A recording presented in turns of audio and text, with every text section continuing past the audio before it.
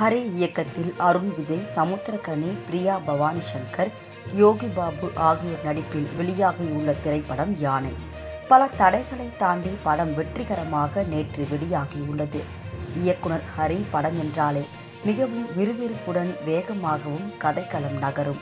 இப்படமும் விறுவிறுப்புடனும் action மற்றும் sentiment காட்சிகளுடன் உருவாகி இருக்கிறது. முதல் நாளில் தமிழகம் முழுவதும் நல்ல விமர்சனங்களை பெற்றுள்ள இத்திரைப்படம் தமிழகத்தில் முதல் நாளில் மட்டும் ரூபாய் நான்கு கோடி வசூலித்துள்ளதாக கூறப்படுகிறது. நல்ல விமர்சனம் கிடைத்திருப்பதால் வரும் நாட்களிலும் படத்தின் வசூல் அதிகரிக்கும் என கூறப்படுகிறது.